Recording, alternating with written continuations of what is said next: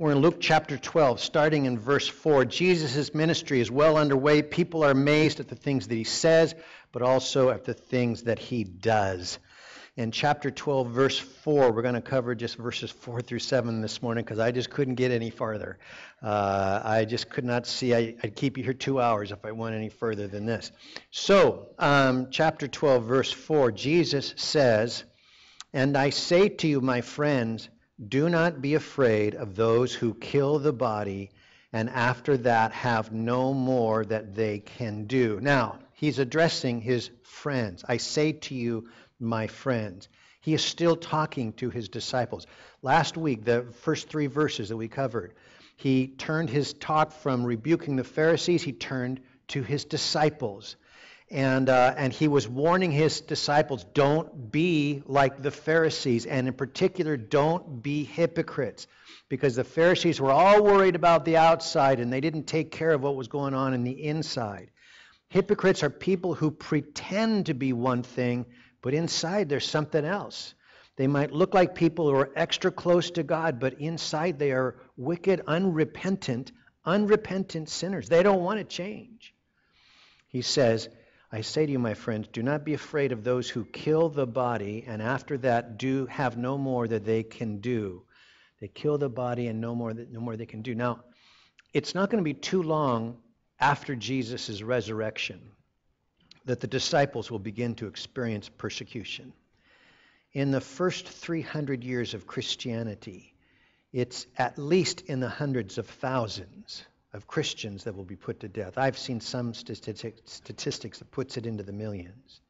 One researcher has documented that over the last 2,000 years, over 70 million have died for their faith.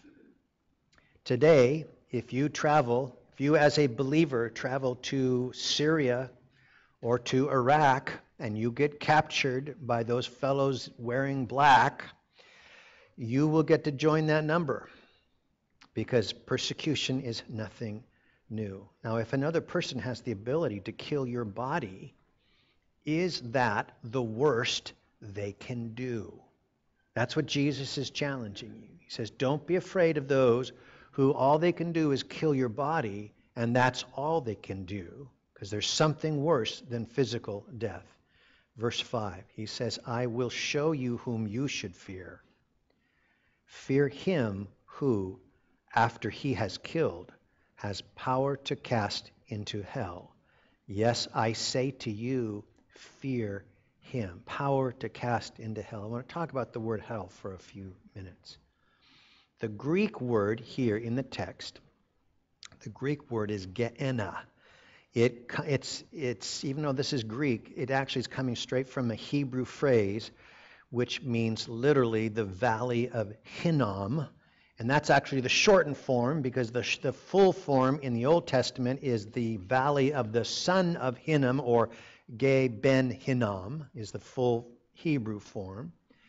And originally, this term actually uh, talked about a specific place, a specific val- a valley. It's south of Jerusalem. If we zoom in on Jerusalem, um, let me, I'll, I'll, I'll highlight this this, that's the city of Jerusalem in Jesus' day. The city under David's day is a little bit further south. That's the ancient city of David.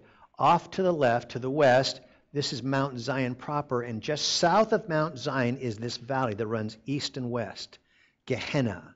It intersects here with the valley of Kidron, the Kidron Valley. Um, what's interesting is that today, if you get out the road map, there is a, there is a road that runs right, right down the middle of the valley, and the name of the, va- the name of the street in Hebrew, it's, it's right, on, right on Google Maps, is Ge Ben Hinnom, the valley of the son of Hinnom. They know what the valley is. Now, how would you like to have your business address at, in Gehenna? or next time your friend says, Oh, go to hell. You say, Well, I live there. no, no, no, no. Sorry, sorry. Little Bible humor.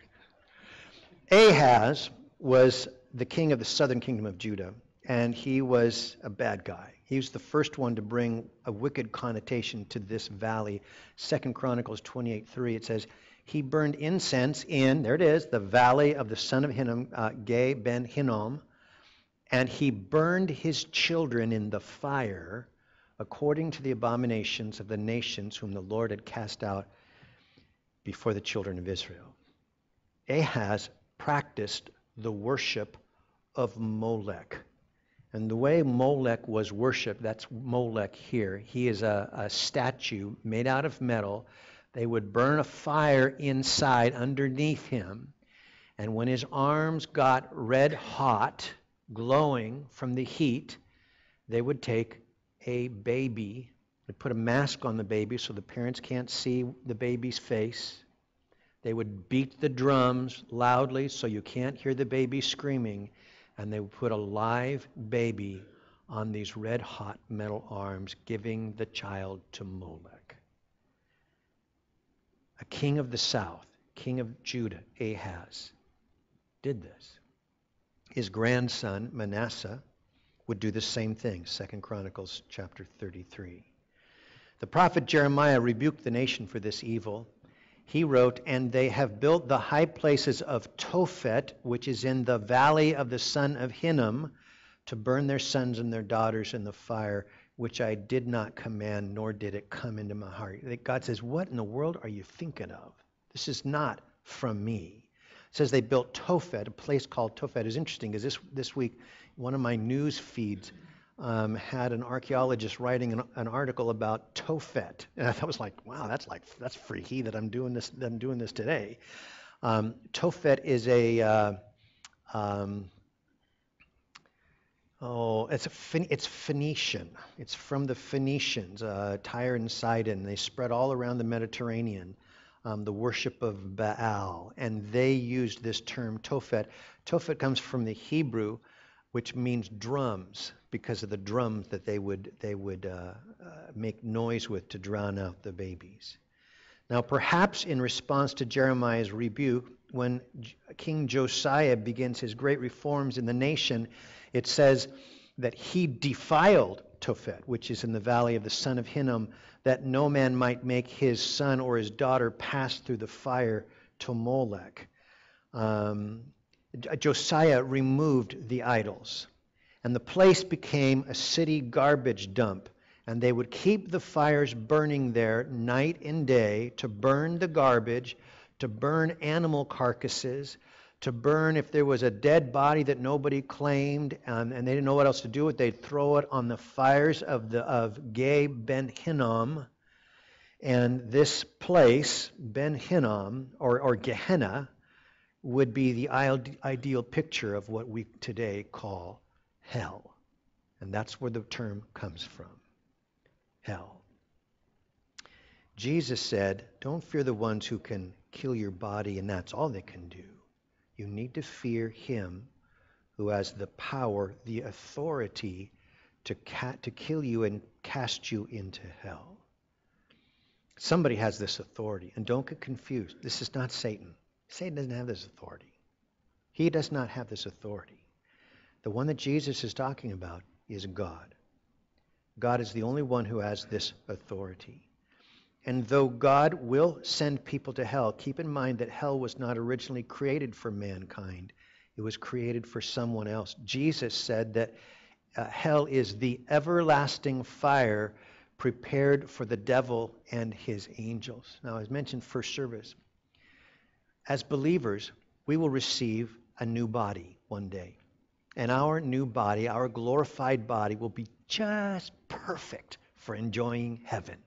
In fact, you need the new body to enjoy heaven because the Bible says flesh and blood can't inherit the kingdom of God. Because if you go to heaven right now in this body, you're just like blow up or something, you know. It just could not take it, could not take it. So God's designed a new body for you, just like a space suit, you know. It can handle space. Well, you'll be able to handle heaven with your new body the unbelievers will also get a new body.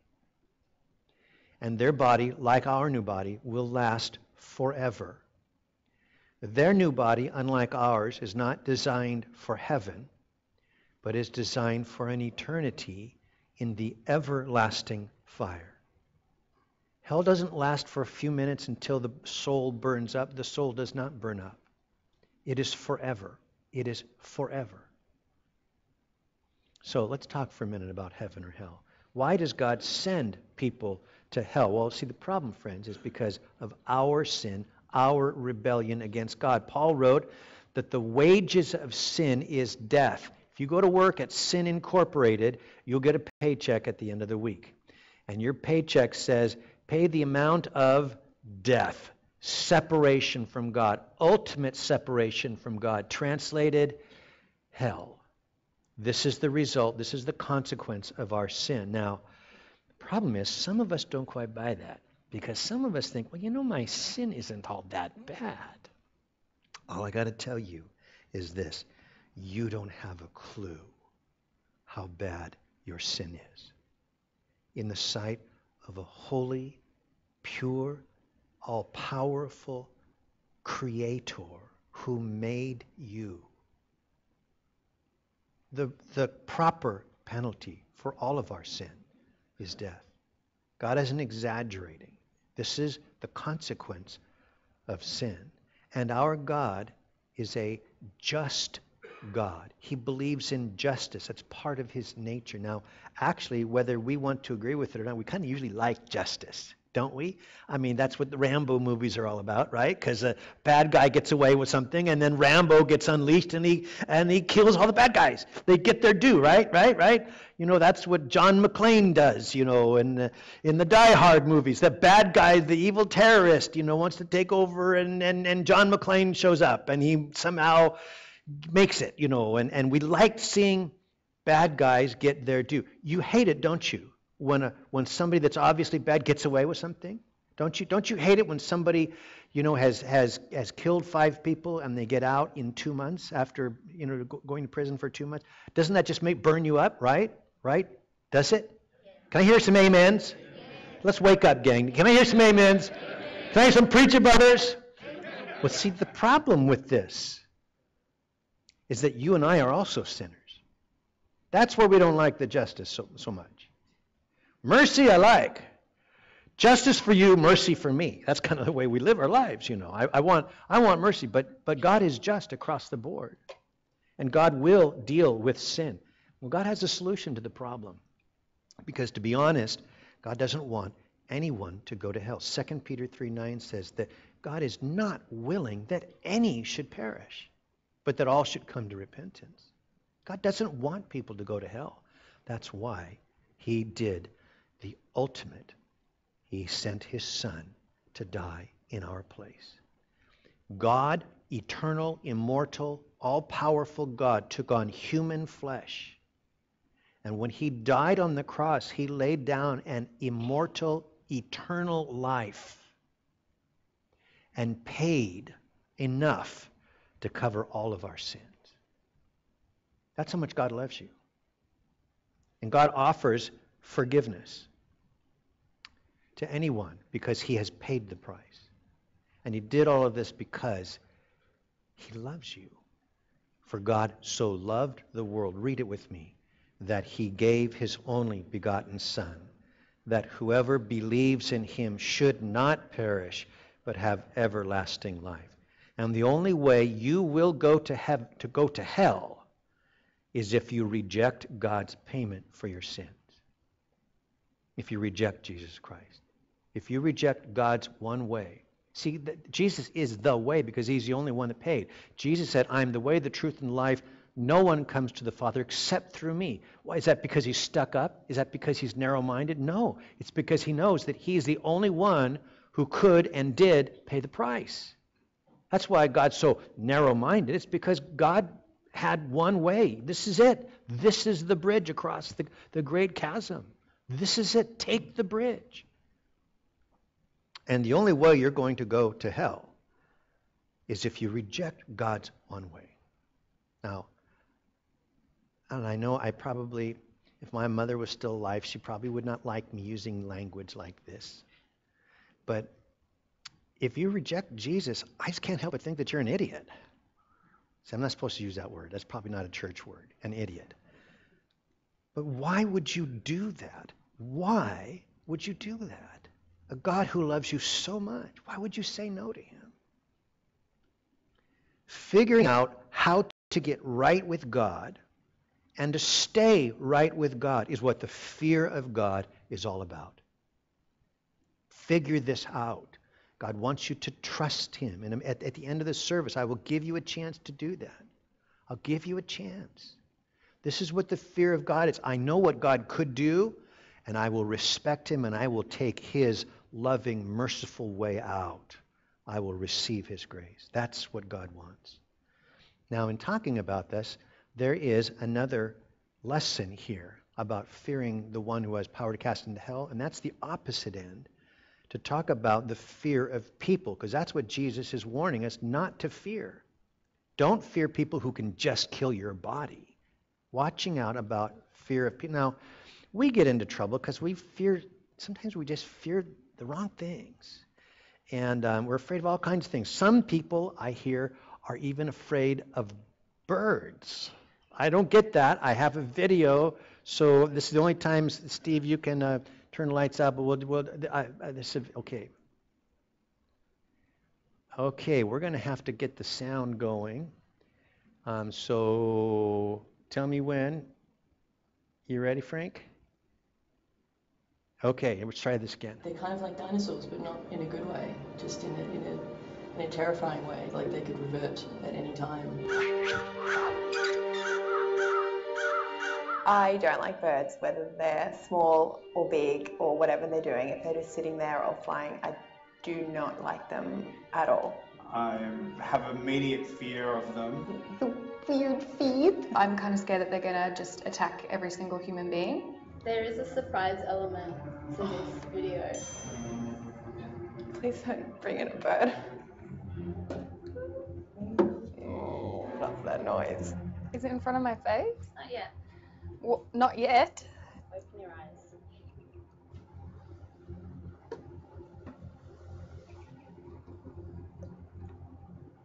You can do it. Oh my Ah!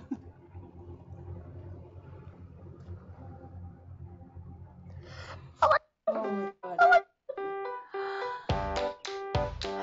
Oh god, there are two of them! It's ducks. It's ducks. Oh my god, they're, they're so yellow. Hey. Hey. Aw.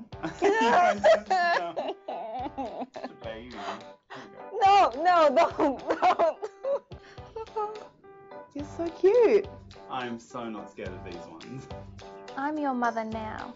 Oh my god, look at the little wings. Oh, it's bugs. Is it soft? As long as I look at it this way and I can't see his eyes or his beak or his claws, he's super cute. It's kind of awkward though. Because I feel I've eaten a lot of these and it's really bad. I'm like, sorry. It's true, people eat ducks. But you don't have to eat duck. Dude, I'm really sorry. I never thought I'll see you eye to eye. Oh, that noise. a little whiffle noise. I can look at it and I can appreciate its cuteness, but I can't carry it. no. I feel like a good duck mother. I feel like a horrible duck father. This doesn't count as a bird. It's not flapping in my face. It's not pooing on my car. This is the best surprise that I think I've ever had. His eyes are still really freaking me out when I look at them. Yeah, I like those. They're cool. See, these are what raptors became. if they were Oh bigger, my god, chill, they buddy. would eat me. This does not change how I feel about birds at all. I'm still a bit freaked out. I definitely like birds a lot more after today. After looking at a duck in the eyes, I'm gonna try not to eat duck now. hate birds. Like fluffy things. I love ducks.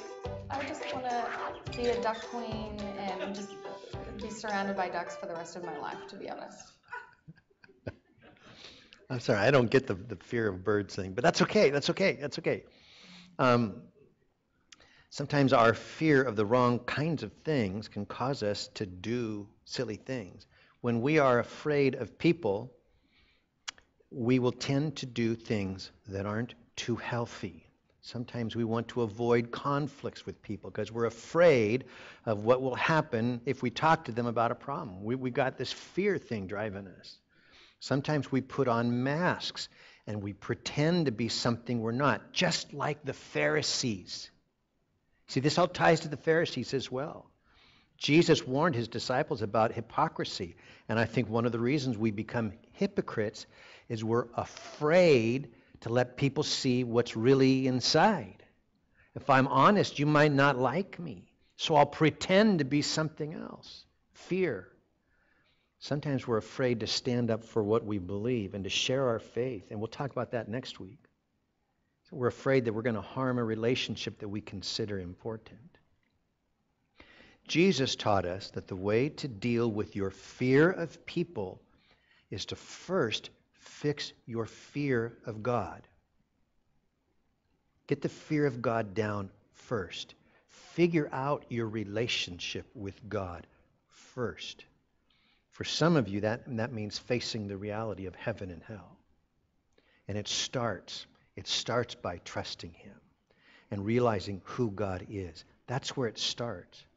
And for some of you, it's not about the fear of God as, as much as it, as it is the love for God that you need to get straight. Jesus said, If you love me, keep my commandments. If you love me. David wrote, The Lord is my light and my salvation. Whom shall I fear? The Lord is the strength of my life. Of whom shall I be afraid? In reality, when you get things right with God, you don't need to be afraid of anyone else. That's easy to say, it's hard to do. He says, verse 6 Are not five sparrows sold for two copper coins?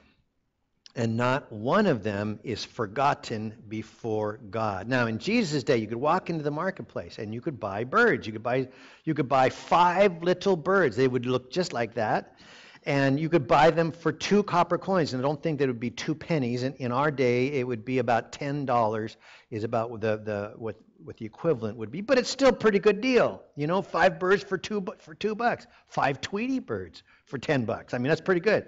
You know, it's like two bucks a piece. You know, and sparrows might not be worth too much in our eyes. And yet, not one of them, not one of them, is forgotten by God. Not one of them is forgotten. I want to talk about this not being forgotten. Have you ever felt like that? Have you ever felt like you were forgotten? Um, Noah and his family had spent six months on the ark already. Flooded conditions. All these animals. Probably a lot of poop. You know, a lot of, a lot of mess to clean up. I mean, you think about it. I mean, it just, it would be a mess. Six months, no end in sight. I can't, I would imagine if I was, if I was Noah, I'm beginning to wonder if God had forgotten. What's the point of this, of, of all of this? No dry land. Rome, Genesis 8.1 says, Then God remembered Noah and every living thing and all the animals that were with him in the ark. And God made a wind to pass over the earth, and the waters subsided. God reminded Noah that he hadn't forgot him. But I got to tell you, it was still six more months before they disembarked. Still six more months. Not forgotten. I remember after I graduated from seminary, um, our direction in life began to change. Um, I had grown up in the Baptist church. Um, I went to seminary. I went to college and to seminary thinking that I would be a Baptist pastor because that's what Baptists do. But by the time uh, seminary had finished, our pastor had left the church, and I really wasn't real excited about the, the Baptist denomination at the time. Um, I had connections, I had really good connections in our church, but I wasn't really all that thrilled to be a Baptist. And, uh, and so Deb and I prayed, we thought about it, we, we went down all different avenues, and we decided we would just throw everything to the wind and go for the gold and just do the best thing that we wanted to do, the thing that was closest to our heart in ministry, and that was to become a part of the Calvary Chapel movement. Um, I'd always loved the way that God worked through Calvary Chapel. Uh, when I was I was youth pastor for six years, a senior high youth pastor, and I used to run my my senior high youth group like a little Calvary Chapel. It was just no different than going to going to Calvary Chapel, coming to our youth group. And so I thought, well, I might as well just do the real thing, you know. But that meant that meant throwing out all of my connections. That meant throwing out all my education to the wind because Calvary Chapel doesn't seem to pay too much attention to education. At the time, they didn't. And, uh, and it meant that I needed to get a job because I was only earning, I think it was like 600 a month, was it? Something like that. A part-time senior high youth pastor. I, that that that kind of had to stop. And uh, and besides, um, Pastor Romaine told me at, at Calvary Chapel, he said, "You need to go get a job." It's like, what? A job? a real job. And this was in the early 1980s. This was um, at the height of what we called the Reagan recession, when there were more people out of work than anything. And it was very hard to get a job. And I remember uh, putting in a lot of applications, getting my resume done, putting in applications, going on job interviews, one after the other. And I remember for months looking for a job, I, and I would get one of two responses. I was either told, well, you're not experienced enough because all you've done is gone to school and, and be a youth pastor. You know, well, I worked in a restaurant, but that didn't. I never. I didn't apply to any restaurants. You know, and then so you're you're inexperienced, too inexperienced, or they would say the exact opposite. They say, well, you're too you're you're too you're educated because I had a master's degree, and they would say, well, you're not going to want to sit here and you know work for this this, you know, work in this office with your master's degree. You're going to like dump us the first chance, you know. And so I, I, I couldn't get a job. And it was very frustrating. And I know, I remember wondering, what have I done? My well planned out life was not turning out the way I thought it would turn out. I remember one day, I think it was in between job interviews, and I was down by down in Newport Beach, and I was so depressed. I went out onto the uh, out onto the jetty at Newport Beach, and I went out. I'm off, I'm dressed for the next interview, you know, the tie and all that kind of stuff. And I'm sitting there on the rocks, just complaining and moping to God, saying, "Did you did you forget me? What what's what is this? You know?" I remember writing a song at the time. I called it. Uh, uh, wandering in the wilderness blues you know i just i just i just like this sucks this is terrible have you forgotten me and i'm sitting there on the rocks not even paying attention and a big old giant wave comes up and crashes against the rock. Boosh water spraying everywhere and i got soaked. And i felt like god was saying you idiot get over yourself. I'm going to take care of you you know? And I felt like God was just kind of lovingly giving me a nudge that He's going to take care of us. Um, I eventually got a job at the Bank of Newport as a teller trainee, whop, earning a whopping $800 a month as a teller trainee. Worked there for two and a half years. Worked at McDonnell Douglas for a year. Um, worked eventually got on staff at Calvary Anaheim, but it would be 10 years after that before the thing happened, which is you, Calvary Fullerton, because I always felt that God called me to be a, a senior pastor. It took time. It took time. I was not forgotten. God hasn't forgotten you. You think, oh, you're the pastor. Of course, God hasn't forgotten you. I was an idiot back then. God hadn't forgotten me. He has not forgot. He has not. Maurice, he has not forgotten you a few years back, seven or eight years ago, I was sitting in my office over here. And like always, I was struggling and depressed about things that were going on. I can't remember what I, I remember the situation, but something was going on in the church, and I, I was I was upset and I was just bummed out. And Lori, my my uh, my secretary, hands me a, a, a phone message thing. Somebody wants me to call him, and and I'm thinking, oh boy, you know, I don't think I want to talk to anybody. And but Lori's always good at nudging me to make sure that I return my phone calls, you know. And so I called this guy named Chris from Calvary Chapel, Boynton Beach in Florida. And I called the guy, and I've never never met the guy, don't know the guy, still don't know the guy. And he said that he had been praying and that my name, my name came to his mind and that God told him to be praying for me. He didn't ask me for anything. He didn't ask me to vote for somebody. He didn't ask me to try to sell me something. He just told me that God wanted him to be praying for me. And I tell you, the thing that hit me was not that my name, that Chris knew my name, but that God knew my name. He knows your name. He has not. He has not forgotten you. He has not. He has not. He has not forgotten you. He has not. He has not forgotten you. He said, verse 7 But the very hairs of your head are all numbered. Do not fear, therefore, you are of more value than many sparrows. The very hairs of your head are all numbered. Now, I've always been, I've always found this quite amazing. Why would the God of the universe be interested in how many hairs I got on my head? But somehow He is. He is interested in the smallest details of my life. Now, obviously, it's easier to count hairs on some people's heads than it is on others. Um, but you know, even bald guys used to have hair. You know, Greg Laurie. Here's here's I'll prove. There's Greg Laurie. This is back in the day. Greg will talk about. You know, he used to have long hair, beautiful long hair. Well, he did. I remember going down to Monday nights when he used to teach Monday nights, and he would wear these football jerseys, and he had hair down his down his back. You know.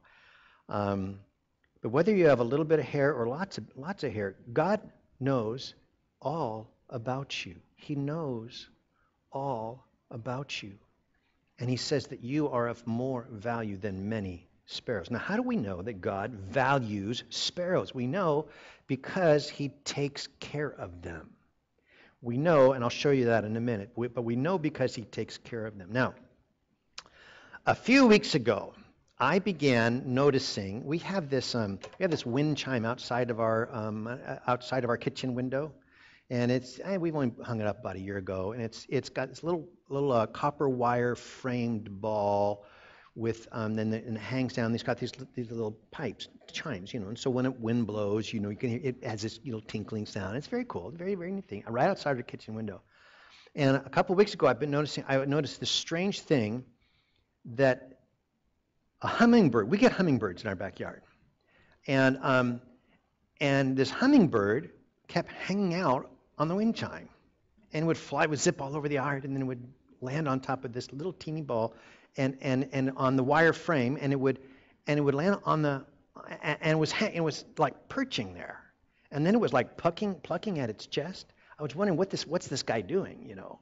And, and I was wondering what's this, what's this boy uh, plucking all these feathers out, you know? And then he would take the feathers. It was fascinating watching. I was watching him through the blinds because he, otherwise he'd fly out. And I'm watching him, and he's like weaving the, the, uh, the feathers around the wires of this thing. It's like, wow, this thing is really nuts. This bird's really wacko. Eventually, I realized that the he was not a he, was a she, and she was building a nest. Um, and the other day, she was off flying around. I didn't scare her off to do this. I just want to let you know I was, I was I've been good to her. And but she was off flying around, and I snuck outside and took a picture of what was inside. Oh, oh, here we go. Here's the picture of what's inside. Look at that. Isn't that cool? Now, don't get, don't get, don't get surprised by the size of this because the nest is like this big. So these are itty bitty, teeny tiny little eggs. I even checked, I even got a picture from this morning. Um, they're st- the, eggs, the eggs are still there because she was off getting breakfast or something, you know. And, and now that she's laid the egg, she spends a whole lot more time on the nest than she did before. Because before she was just happy-go-lucky, flying all over the place, and every you know every other day she'd you know weave a few more feathers in, you know, or something. And uh, now she spends almost a whole day on on these on these eggs. And I got I've been wondering, you know, should I do something for this bird? Should I should I like help it or something? You know, who's going to feed this bird? You know, what's going to happen? You know, and it dawned on me, God's going to do it.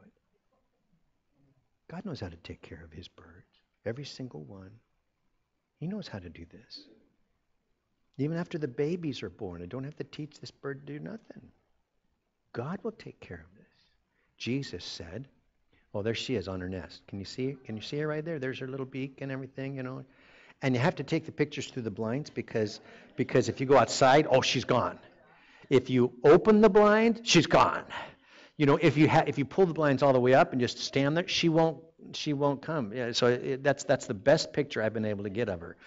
Um, and um, and Jesus said, "Look at the birds of the air, for they neither sow nor reap nor gather into barns, yet your heavenly Father feeds them.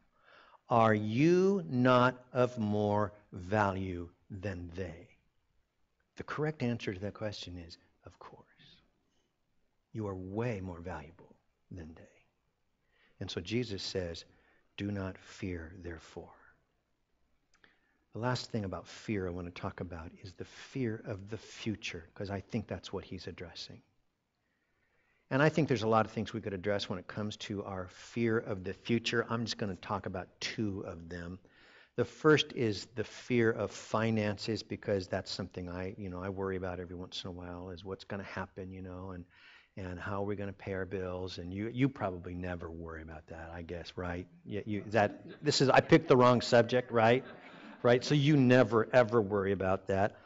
Money is actually one of the top sources of conflict within marriages. Um, you know, Greg and Lauren, I'm sure that they'll, they will deal with that when they talk at their coupleship class. Um, I, I've watched them wrestle and figure this out. I found an excellent article on conflict in marriage, and this is what they say. Uh, and, and I've got links to this on, in my notes. If you go to the downloadable notes, the things I'm going to share with you are all in there. And, and, and they say this allow us to say it straight. Money fights between couples are rarely about money. So if you want to minimize a currency conflict, trace it back to the fear, the fear that's fueling it. Instead of fighting over the amount of money that was spent on who knows what, shift the focus toward what really matters. And there's four things that they list. The first thing is this focus on your fear of not having influence in important issues impacting your life. Because that's what you're afraid of. You're afraid that you can't fix this, that you can't, you, you can't uh, affect this decision. Number two is, is focus on your fear of not having security in your future. What's it going to be like 10 years from now? What's it going to be like when we retire? What's it going to be like, you know, if I get laid off? What, what's this going to be like? He said, they say to focus on your fear of having no respect shown for your values. Because see, that's some sometimes that's the that's the that's the real issue. It's not that he or she bought the thing that they bought, but that they didn't buy the thing that you would have spent the money on. But they don't value the things that you value. So you've got to talk about those things. What's behind it? And the fourth thing they say is to talk about your fear of not realizing your dreams. But but but but I wanted to do this, and that's why I'm saving for this, is so we could do this, and you, and you've taken this away. So they suggest talking about these things, and, and notice it's all about fear. Jesus says, "Don't fear.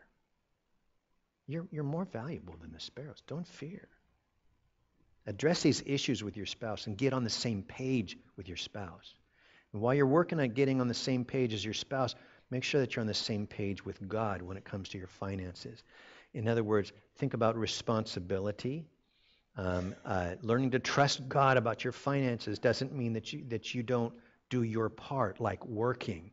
Um, 2 Thessalonians 3:10 For even when we were with you we commanded you this if anyone will not work neither shall he eat. We learned this the hard way in the, in the early days of our church. We had people in the church that that weren't working and they kept saying, "Oh, we're just trusting God. We're just trusting God." While they're asking everybody for handouts. And and it finally we just like dawned on us like, what a bunch of idiots. You're not trusting God. You're trusting everybody else. And you're taking advantage of everybody else. This is an important verse. If you are able to work, you should be working. You should work. You should be able to, in fact, Paul says in Ephesians 4, learn to work so that you can give to others. See, that's important that you do that. It's important that you learn contentment. Paul says, first uh, says Philippians 4:11, not that I was ever in need, for I have learned how to be content with whatever I have. I know how to live on almost nothing or with everything. I have learned the secret of living in every situation, whether it is with a full stomach or empty, with plenty or little, for I can do everything through Christ who gives me strength. See, contentment's important because when I start looking what other people are doing and I want what they want, that gets me into trouble. When what I need to do is learn to be content with where I'm at, what has God provided for me right now to learn to live on what God has provided for you and not, not think about what somebody else has. And the last thing is learn to, again, uh, trusting Him. You need to trust Him and you need to remember my hummingbird. God will take care. You do your part, He will do His part. Isaiah 12:2 says, Behold, God is my salvation. I will trust and not be afraid. Now, fearing of the future. One thing is finances. The last thing I want to talk about is direction for our lives. Because sometimes that's what I'm worried about. Did I make the right choices? Am I going in the right direction?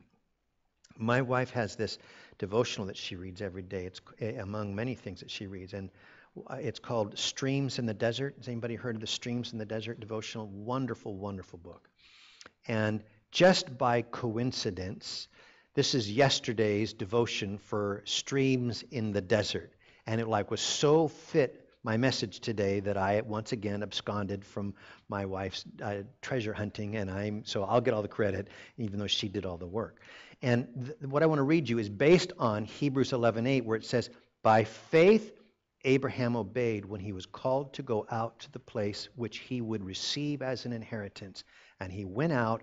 Not knowing where he was going. That's an important verse to me personally. Um, 21, 22 years ago, when we decided to start the church, this was the verse that pushed us out the door.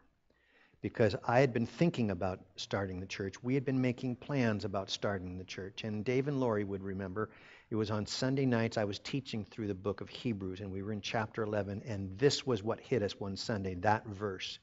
And I felt convicted that here I am making a huge, important step that will affect lots of people, and I wasn't doing it in faith. And so we made a choice that Sunday when we taught on that verse that we would step out even though all the pieces weren't in place, that I w- we would learn to be like Abraham and step out even though we don't know exactly where we're going. We would learn to step out. Sometimes we have to step out in faith like Abraham even though we don't know what's up ahead. Now, I have two readings I want to read you. That was this was what was in the, the, the devotional. F.B. Meyer, he's a pastor from the 1800s. He wrote this about this concept.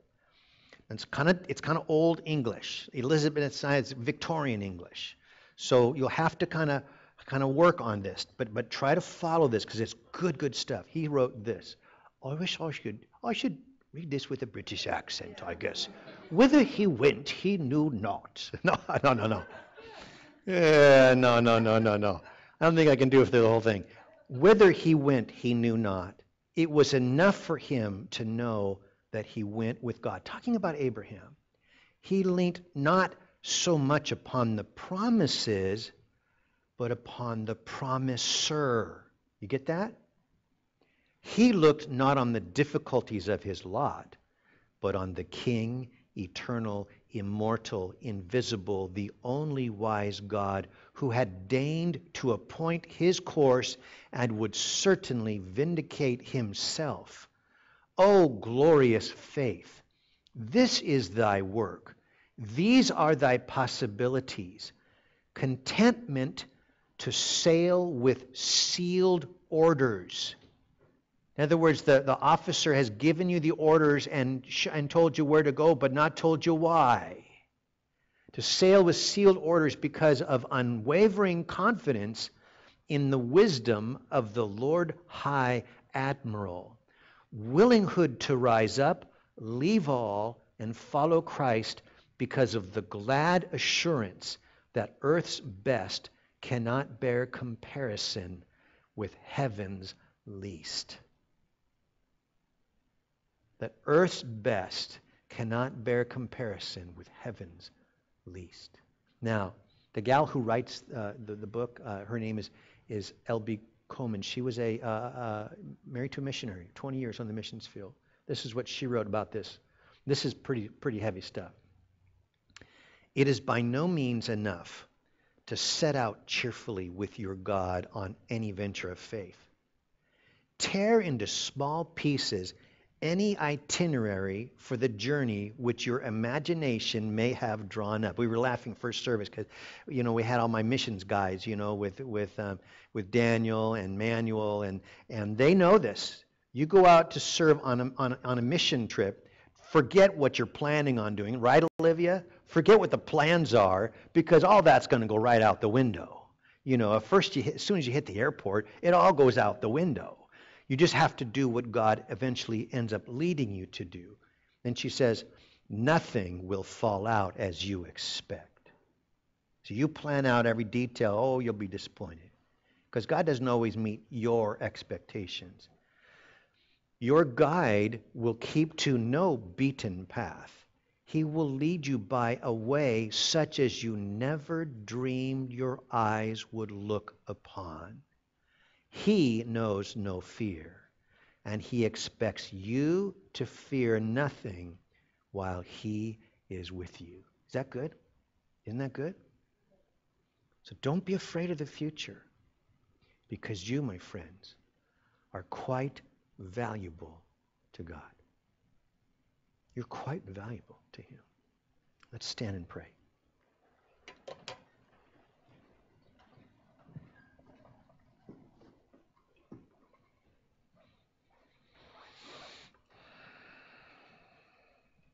And so, Father, I, I would like to pray here for a moment. Lord, for any of our friends with us who perhaps haven't taken that first step to trust you and to trust what you did on the cross to pay for their sin.